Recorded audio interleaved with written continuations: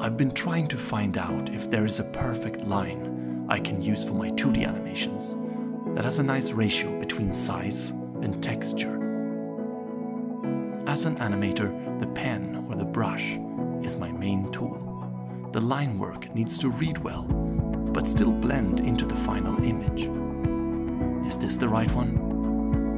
Maybe this one?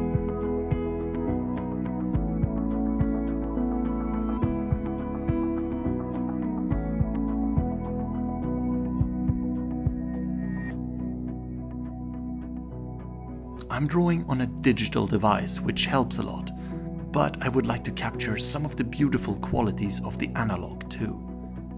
A slight graphite texture might feel nice, avoiding a sterile, clean line. Up until now, I've not set myself any strict rules for how lines should be used in my animations. I've always gone for what feels nice, but maybe it's time for a closer look and finding out what I really think works. Of course, we don't want rules that can't ever be broken or changed, but at least we can inform ourselves, so our decisions are deliberate. Style and subject will of course matter here, but whatever you're making, perhaps what I've come up with can be useful to you too.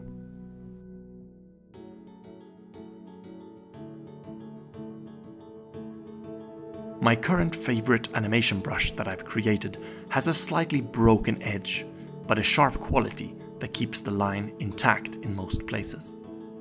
It's opaque enough that it hits its end goal color quickly, without creating layering opacities if intersected. The brush has a hint of a texture that can be controlled using a flow setting. I like to keep it between 30 and 60%. Within this range you get quite a lot of texture at 30% and almost a solid line at 60, so somewhere between these looks good. This brush is for raster based drawing, so not a vector line. I prefer drawing with pixels over vectors. That is done in softwares like Photoshop, Clip Studio Paint, I think TV Paint does it too, Procreate as well, and yeah, some others. The correct brush size or thickness will vary depending on the resolution of your canvas. I work in 4K, and there I find a thickness between 12 and 18 pixels look good.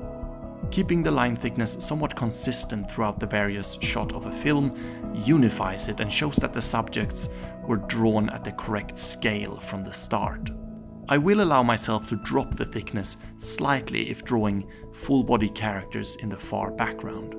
But also reducing details in any background element is a way to show depth in a scene, so I think those characters or objects that sit further back in the scene should be simplified and drawn with more line economy. I want to avoid it looking like I drew the character large and then scaled them down to fit the scene, I want to draw them in their correct size. But if they are really small, a slightly thinner line might describe them better. For anything really close to the camera, I would not use any thicker lines than what I defined earlier. That would just result in the element looking scaled up afterwards.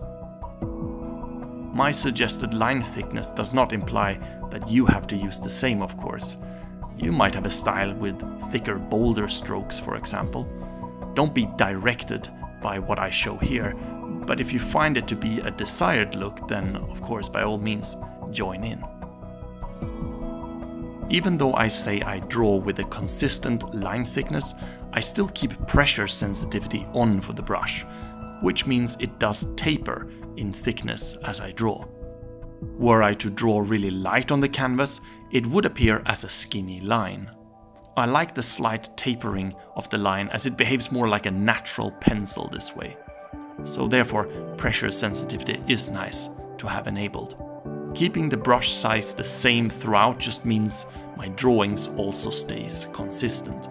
For my initial rough passes, I like to reduce the flow of the brush quite low to get a bit more texture out of it, as well as increase the brush size. And that can help to capture the right energy in the drawings before tying them down to clean lines. Often I find that when describing motion, the first rough drawings have the most expressive energy, and it can sometimes be tricky to keep that in the finished artwork too. But I like that this brush can be used for both the early sketches as well as for the tight lines. In this video I've labeled it as my animation brush, but of course you can also use it for any form of illustration. I like using it when I'm sketching and sort of blocking out scenes, environments or characters. I'm confident you can create something similar in whatever animation app you're working in, but if you want to use my brush that works for both Photoshop and Clip Studio Paint, then head over to my Patreon where you can claim it.